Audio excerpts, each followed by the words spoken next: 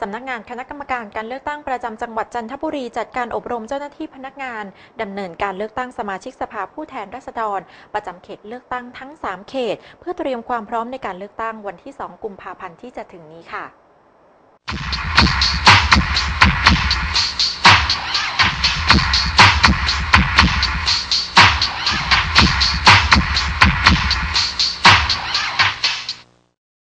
ถึงแม้ว่าในขณะนี้เหตุการณ์ทางการเมืองยังคงอยู่ในสถานการณ์ที่หลายภาคส่วนยังคงกังวลอยู่ ซึ่งจังหวัดจันทบุรีถึงแม้ว่าจะไม่มีเหตุการณ์ความรุนแรงเกิดขึ้น แต่ยังคงต้องเฝ้าระวังสถานการณ์อย่างใกล้ชิด เพราะด้วยทางด้านกลุ่มคณะกรรมการประชาชน เพื่อการเปลี่ยนแปลงประเทศไทยให้เป็นประชาธิปไตยที่สมบูรณ์อันมีพระมหากษัตริย์ทรงเป็นประมุขหรือกลุ่มกปปส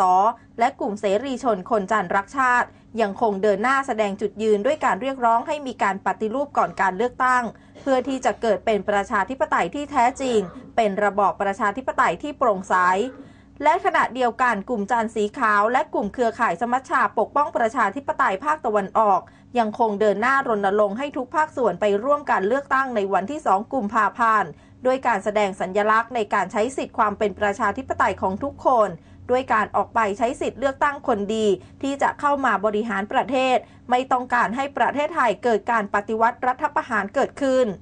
เพราะด้วยทุกอย่างยังคงต้องเดินหน้า ในเมื่อวันนี้การเลือกตั้งจะต้องเกิดขึ้นทางสำนักงานคณะกรรมการการเลือกตั้งประจำจังหวัดจันทบุรี จึงได้จัดการอบรมเจ้าหน้าที่พนักงานดำเนินการเลือกตั้ง เพราะเหลือเวลาอีกเพียง 3 วันเท่านั้น การเลือกตั้งสมาชิกสภาผู้แทนราษฎรจะเกิดขึ้นในวันที่ 2 กุมภาพันธ์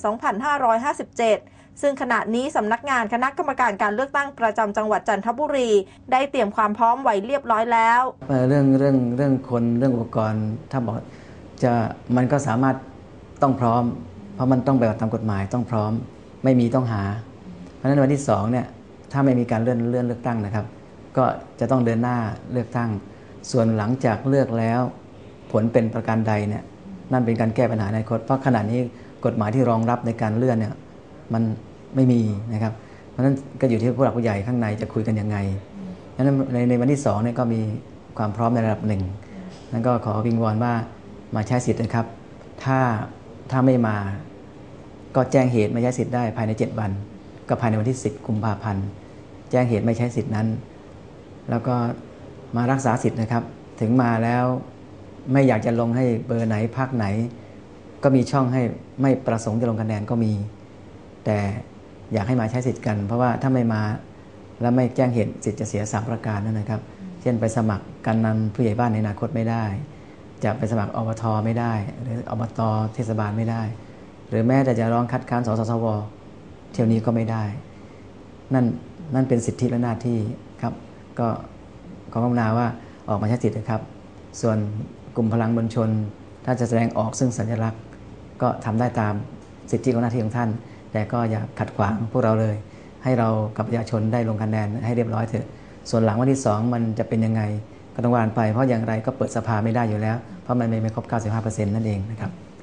หลังจากนี้ก่อนการเลือกตั้งเจ้าหน้าที่วิทยากรจำเป็นต้องเร่งให้ความรู้กับเจ้าหน้าที่พนักงานดำเนินการเลือกตั้งสมาชิกสภาผู้แทนราษฎร ซึ่งทั้ง 3 เขตเลือกตั้งในจังหวัดจันทบุรี ต้องเข้ารับการอบรมเพื่อที่จะดูแลและตรวจสอบการเลือกตั้งให้เกิดความยุติธรรมโปร่งใสเพราะการเลือกตั้งสมาชิกสภาผู้แทนราษฎร มีความสำคัญต่อคนไทยทุกคน ที่ทุกคนจะต้องทำหน้าที่เป็นพลเมืองที่ดี